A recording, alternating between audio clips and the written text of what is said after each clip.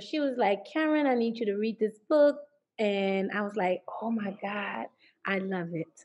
And so that's how um, we became familiar with it. And then I had an operational manager, and I let her read the book. I said, "No, you got to read the book too, because we in this together." And so she read the book like in one day. She was like, "I couldn't put it down. I couldn't put it down. It's so good."